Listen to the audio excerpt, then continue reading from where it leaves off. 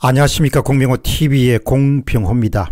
그럼 그렇지 그럼 그렇지 엊그제 방송에서 지금 사표 제출 때문에 많은 사람들의 주목을 받고 있는 신현수 청와대 민정수석을 두고 제가 old boy라는 표현을 사용했습니다. 한 가지 명확하게 해두고 싶은 것은 old boy라는 것이 어떤 종류의 부정적인 의미도 들어있지 않습니다. 오히려 우직하게 소신을 지킨다는 점에서 긍정적인 의미를 더 부여하고 싶습니다. 586 출신의 정치인들 특히 청와대의 중핵을 담당하고 있는 사람들을 표현하는 여러 문구가 있겠지만 아마도 똘똘 뭉친이라는 것처럼 적합한 표현이 있을까 싶습니다. 우리끼리 똘똘 뭉친다. 이런 아침 2월 20일자 중앙일보 온라인판 신문의 일면에는 큼직하게 눈길을 끄는 기사가 실렸습니다. 단독 우리 편 안 서나 박범계 말에 신현수 충격 떠날 결심 중앙일보의 강태화 기자가 새벽 5시에 올린 기사입니다. 첫 번째 질문은 우리끼리 의식입니다. 박범계 판사 출신의 법무부 장관은 1963년생입니다. 연령대로 보면 아주 전형적인 586 세대 정치인입니다. 반면에 신현수 검사 출신의 민정수석은 1958년생입니다. 여러분들은 아시고 계시겠지만 1960년생을 중심으로 해서 사회나 정치를 바라보는 시각이 아주 다릅니다.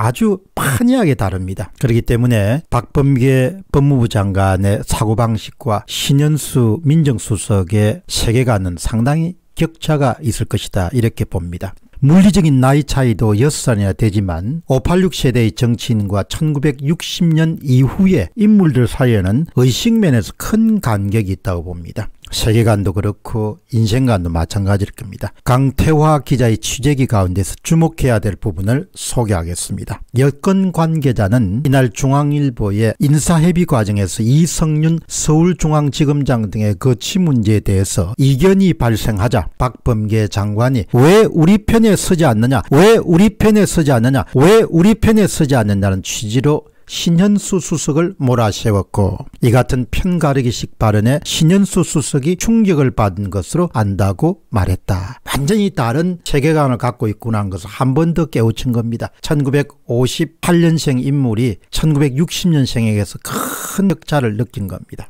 박범계 장관이 우리 편의 의미에 대해 구체적으로 밝히지는 않았지만 여권 관계자들 사이에서는 민주당 소속 국회 법사위원을 중심으로 한 강경 친문 세력과 친조국 추미애 그룹 등을 포함한 개념 아니겠냐는 해석이 나온다. 중앙일보는 박범계 법무부 장관의 입장을 듣기 위해 연락을 취했지만 19일 밤까지 연결되지 않았다. 대단히 의미 있는 그런 기사를 강태화 기자가 취재해서 내보냈습니다. 다음 질문은 우리가 알아야 할 일입니다. 인간의 기본적인 특성 가운데 하나가 무리지엄과 구분지엄을 들 수 있습니다. 이른바 베타성을 말합니다. 우리끼리 그리고 그들끼리 이렇게 나누는 겁니다. 근데 정치적으로 좌파 성향의 인물들의 사고에 그러니까 좌파적 사고의 가장 강력한 특징 가운데 하나는 우리끼리 즉 적과 아군을 명확히 구분하는 특성을 들 수 있습니다. 특히 586 정치인들의 의식 세계는 젊은 날부터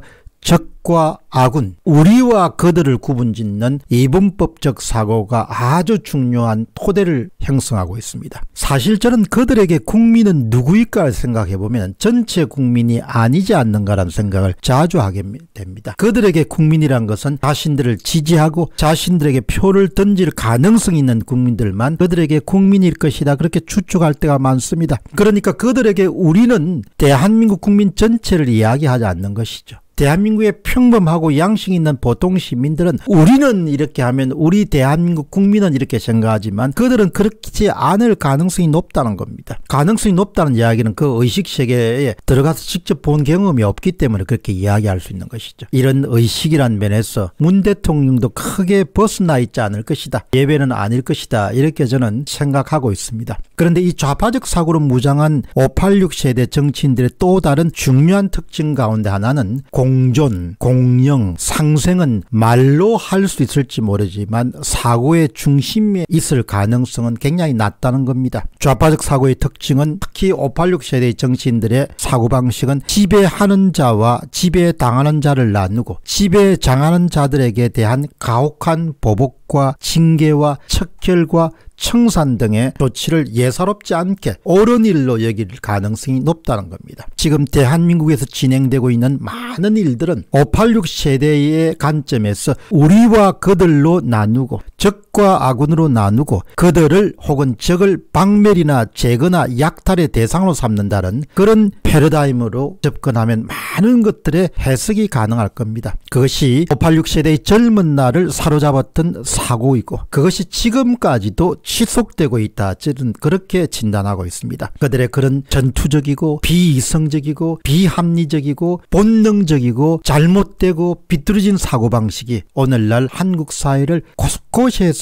무너뜨리고 망가뜨리는데 큰 역할을 하고 있다 이렇게 봅니다. 그들의 염원처럼 그들의 장기 집권이 이루어질 수 있다면 대한민국은 상당히 많이 망가지게 될 것으로 봅니다. 처절하게 망가진다 이런 표현을 좀 문학적인 표현을 사용해도 좋을 겁니다. 문제는 돈이나 자원의 문제가 아니고 지금 대한민국이 직면하고 있는 문제는 사고의 문제죠. 의식의 문제입니다. 세계관의 문제인 것이죠. 그런데 사고와 의식과 세계관은 고치는 일이 아예 불가능한 것은 아니지만 아주 어렵습니다. 1963년생인 박범계 장관의 사고방식은 1960년생인 윤석열 검찰총장의 것과 다르고 1958년생인 신현수 민정수석의 세계관이나 사고나 삶의 양태와는 크게 다르다고 봅니다. 그것이 바로 현재 한국 문제를 이해하는데 매우 중요한 단서를 제공한다고 봅니다. 공병호 TV의 공병호였습니다. 감사합니다.